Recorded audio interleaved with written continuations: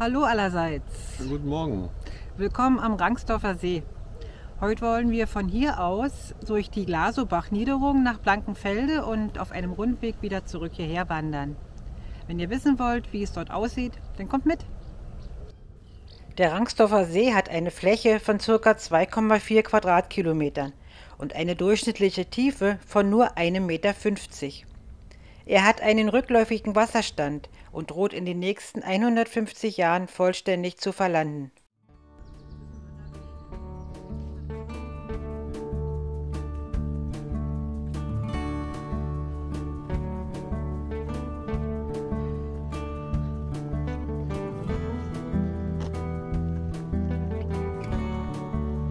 Das ist die Krumme Lanke, eine Ausbuchtung des Rangsdorfer Sees.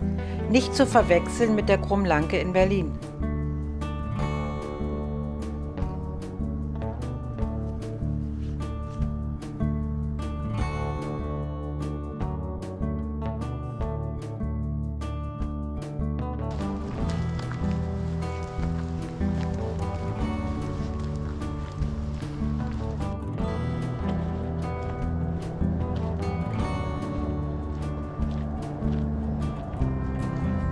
Das ist ausgebrannt, ja.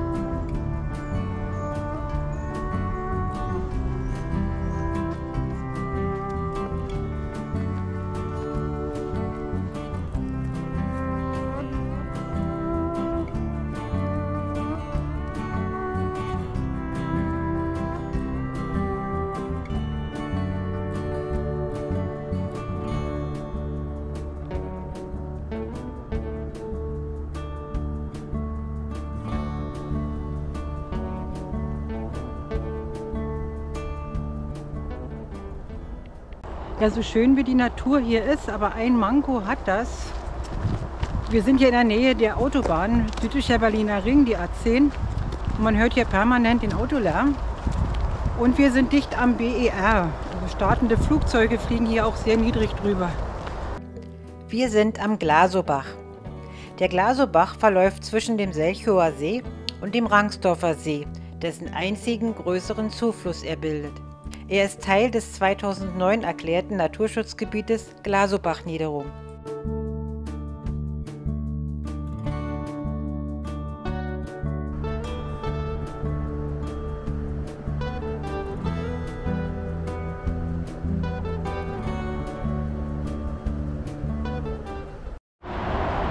So, und hier unterquert man die Autobahn. Gleich hinter der Autobahnunterführung beginnt der Naturpfad Glasobach-Niederung.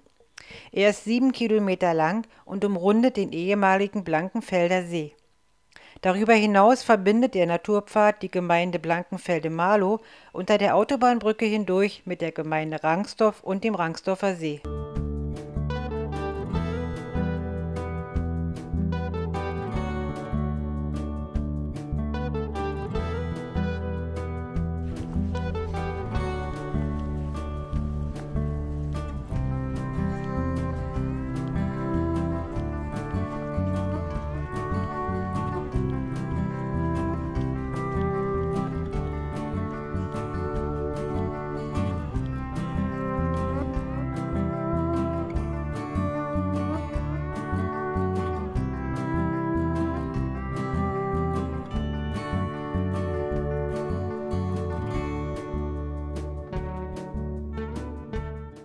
Das ist ja ein neckischer Einfall im Gesicht.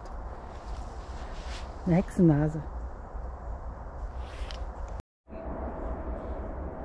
Seltsam. Der Bewuchs vom Baum.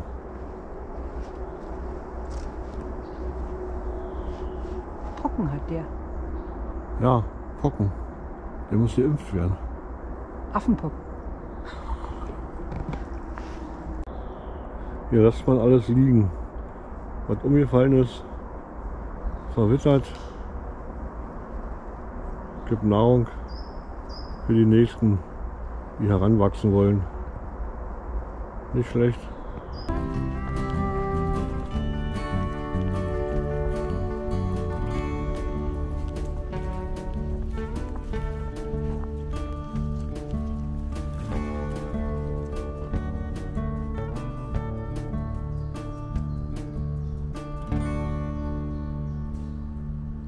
Hier ist wie ein Naturlehrpfad, hier kann man die verschiedenen Bäume anschauen. Das ist hier eine Stieleiche.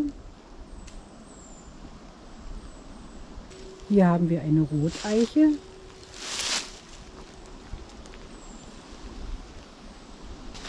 Hier der glatte Stamm, das ist eine Rotbuche. Eine Rubinie, diesen sehr markanten Stamm. Eine Fichte.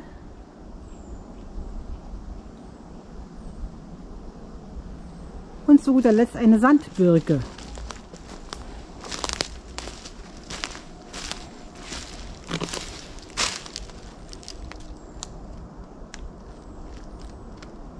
oben im Blätterdach kann man das kaum unterscheiden. Hier ist alles, alles grün.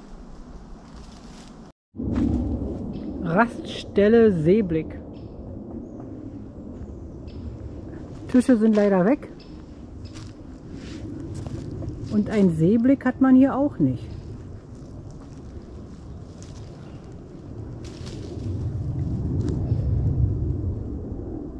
Wobei hier unten vor uns liegt der ehemalige Blankenfelder See. Der ist aber aufgrund des absinkenden Wasserspiegels verlandet. So mittlerweile ist von der Autobahn überhaupt nichts mehr zu hören. Also doch noch Naturidylle.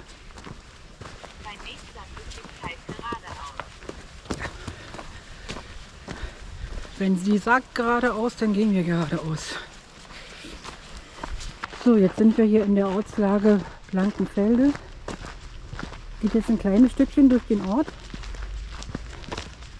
Und dann geht es aber wieder auf der anderen Seite von der Niederung zurück.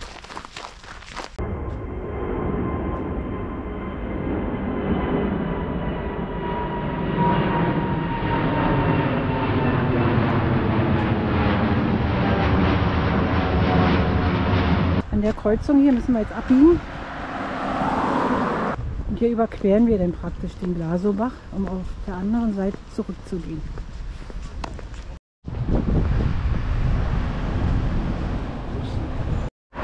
So, da vorne geht es rechts zum Bahnhof. Wer also mit öffentlichen Verkehrsmitteln anreisen möchte, kann hier zum S-Bahnhof Blankenfelde fahren und von da aus die Wanderung Richtung Rangsdorf machen und wieder zurück.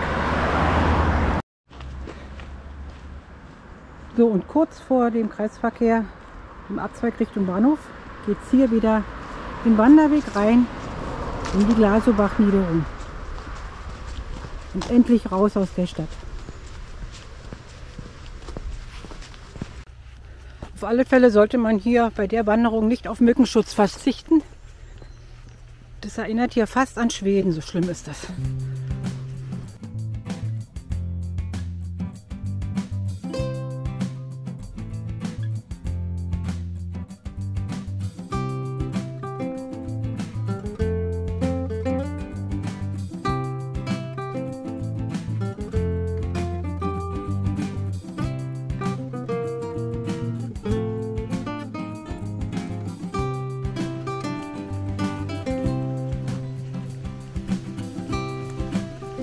Interessanter Pausenplatz.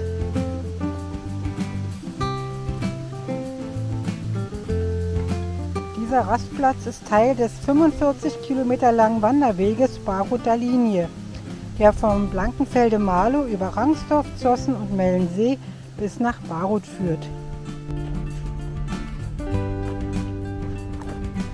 Was steht hier? Dasselbe wieder.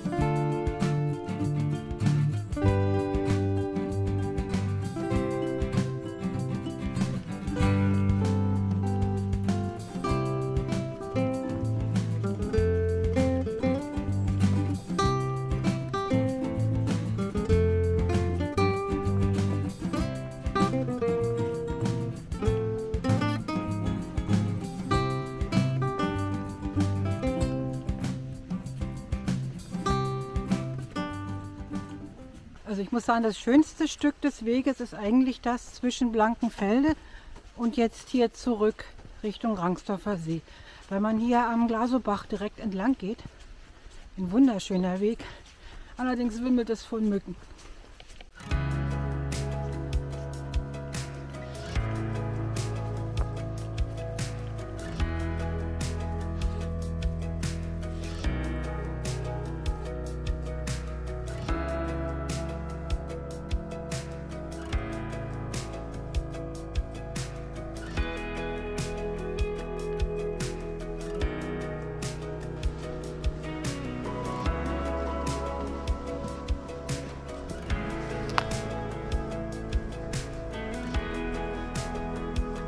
Ein etwas steilerer Aufstieg. Eine Aussichtsplattform.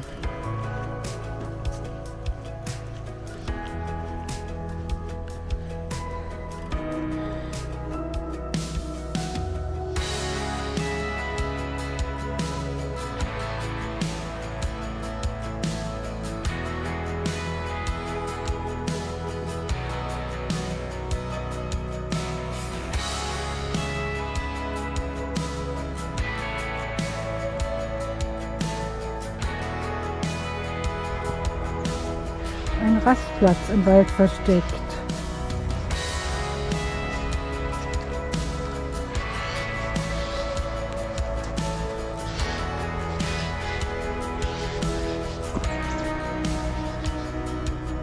Aber wir haben schon gefrühstückt.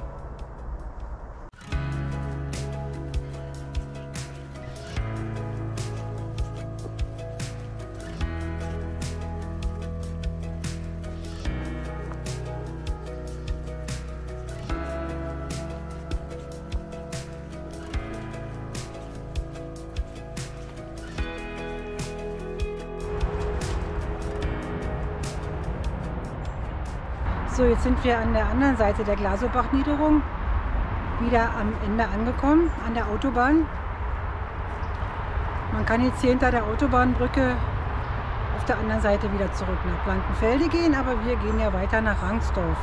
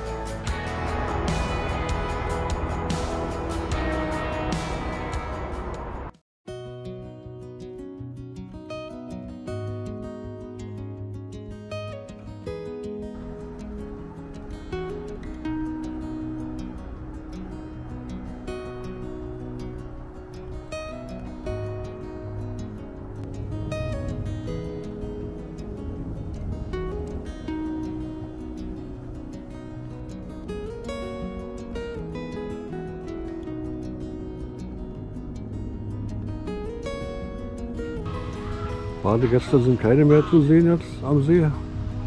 Aber dafür jede Menge Enten.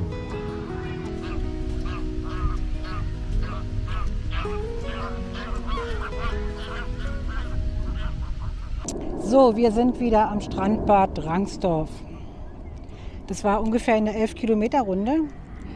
Wer sie kürzer gehen möchte, der kann von Blankenfelde aus bis zur Autobahn und dann über die Fußgängerbrücke, andere Seite wieder zurück. Wieder das zurück, genau. ist wohl etwas weniger.